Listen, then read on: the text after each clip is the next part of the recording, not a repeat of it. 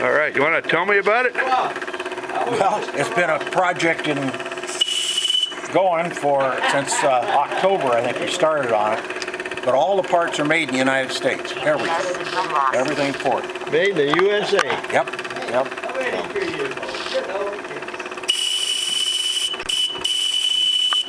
Match that, George.